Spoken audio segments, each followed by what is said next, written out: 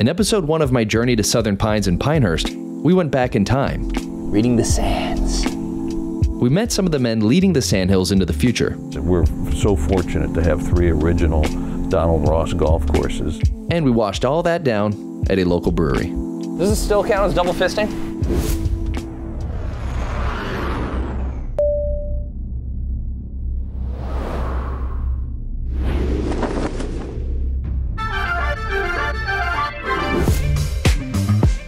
Home of American golf, Pinehurst.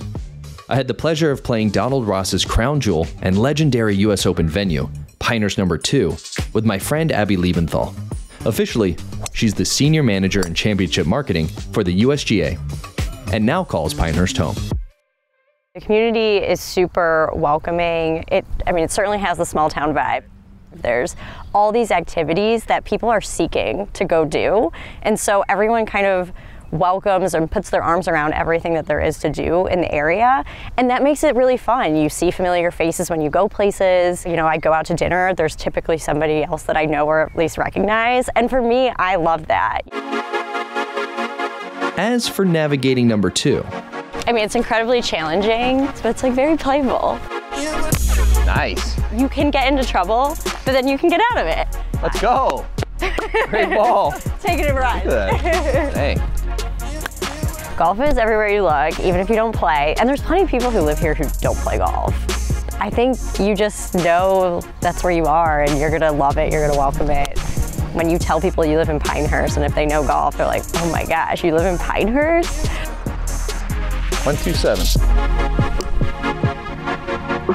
Oh, that's better. Southern Pines is such a special community, whether you have military families and friends or you have young families. Um, people just really gravitate toward going to events, and, and that's why I love living out here. You know, it's a welcoming place to be.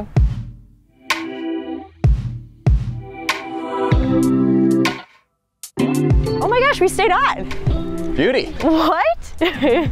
well done. she's also a trailblazer in today's game with her startup Fore the Ladies. In 2019, I started a nonprofit called Fore the Ladies, and we introduce women to the game. It started with a simple clinic. I thought, I'll have 20 friends. We'll do a little intro to golf clinic. I have PGA professional friends, and we'll like rotate through different stations. That day, 70 people showed up, and I was like, oh my gosh, like there's something here. And so ever since, we've hosted about 50 events, and these women are so excited to learn. They have really good questions. You can tell that they want to get better. And this is just in a two hour time period. The folks at Pinehurst allowing us to do that has allowed us to expand and go to even more places across the world. And then I think we try to make the connections, connect the dots between what you're doing on the golf course and how that can help you in your everyday life. So, strategy or just like confidence. Oh, come around. Like letting things kind of brush off your shoulder. Getting a lot of bunker practice today. Hit it. Sit. How can you then bring that into your everyday life instead? Safe. Good speed. Really good. Walking and get in. we try to just connect those dots of this is going to really enrich your life.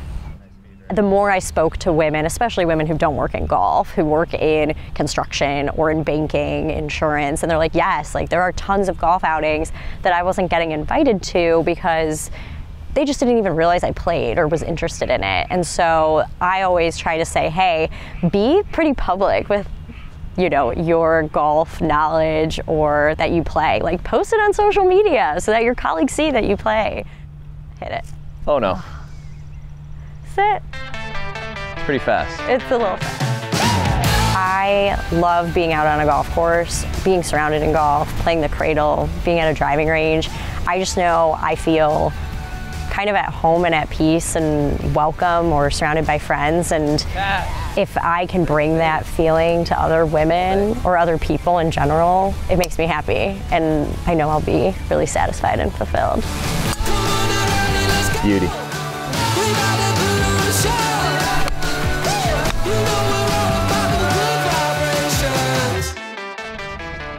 Nice putt. Thanks. Abby, thank you for hosting us in your new home. Playing. That was so fun. Congratulations. Yeah, thank you. Old Town Pinehurst. Iconic with its brick buildings and southern charm, the Drum and Quill fits right in with its rich family history, rooted within the game of golf. Founder Kevin Drum invites us into his American Tavern for a seat at the classic wooden bar, with cold drinks on tap. All right, Kevin, first thing, cheers. Cheers. Thank you. Welcome to Old Town Pinehurst. The Drum and Quill, named after my dad, and really to represent golf writers as a whole. The drum stands for my dad, Bob Drum, who's a famous golf writer, and the quill represents the pen that they use to make the stories that make golfers famous. So I thought it would fit well in the village and be part of the fabric of uh, the home of American golf. And uh, we pretty much pulled that off. How did you guys find your way down here in the first place? My dad worked for the Pittsburgh Press, so he was there covering a 12-year-old Arnold Palmer playing in the Western Amateur Championship, and he covered uh, his whole career, and then he became his publicist and PR guy, kind of like the O.B. Keeler was to Bobby Jones, my dad was to Arnold Palmer. That relationship is hard to explain to people today.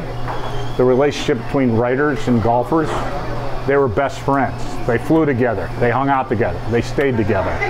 I would fly on the plane with Arnold and, and his girls, you know, and uh, it was just a different relationship. How many years have you been in this spot? Eight years. Uh, this was a bankrupt business, and I bought this pub from the federal government. and I said, uh, you know, it's an opportunity to honor my dad, his peers in golf writing.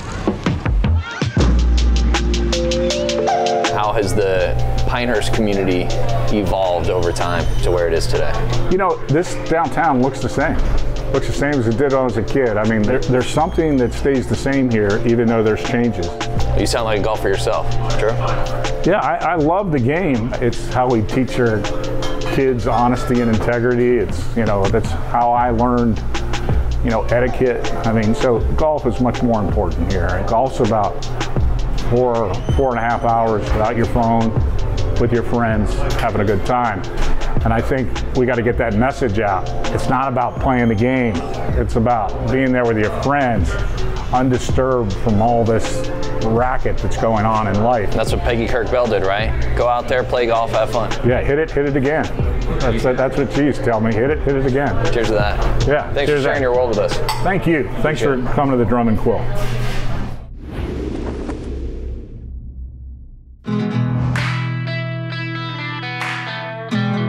You find yourself in Pinehurst with the sun setting and the itch to play more golf, then the Cradle is the spot to kick off the shoes and squeeze in a casual round on hollowed ground.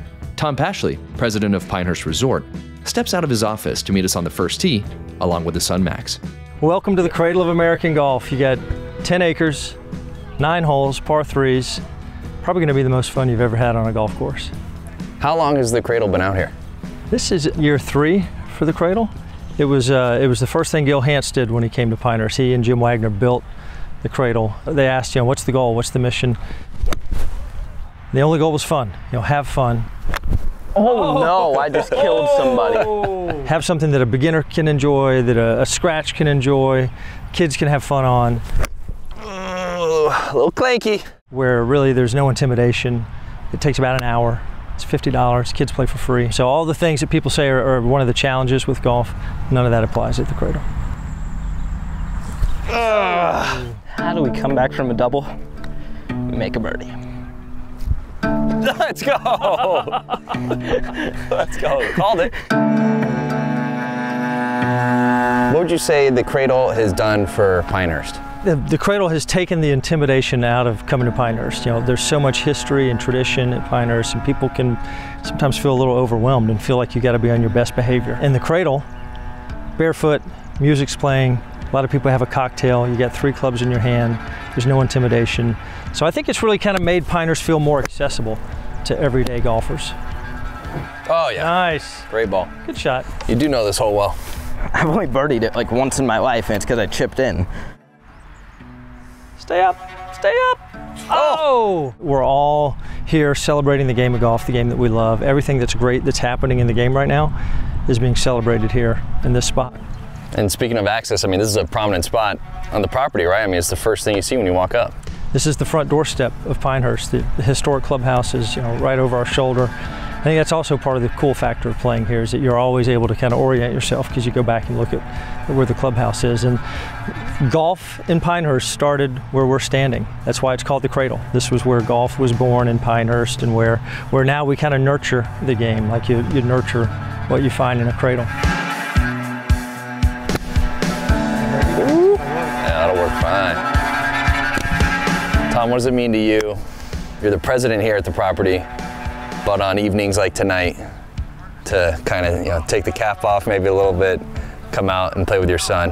What does that mean to you? Yeah, it's, it's great. I, I'm not I'm not off limits yet. You know, Dad's still reasonably cool, so he doesn't mind hanging out with me. It is great to be out here at the end of the day in, in the sunset with your son, uh, just you know having a walk on a nine-hole par three course. There's a lot of history here in this whole town, but especially where we're standing over the last hundred years. Looking forward to the next hundred. You feeling good about how it's all set up? What do you think it's going to look like in the future? Yeah, you know, Pinehurst is not meant to be a time capsule. Pinehurst is always about pushing forward. We don't want people to say, you know, Pinehurst used to be a place that was great where my grandfather used to take me.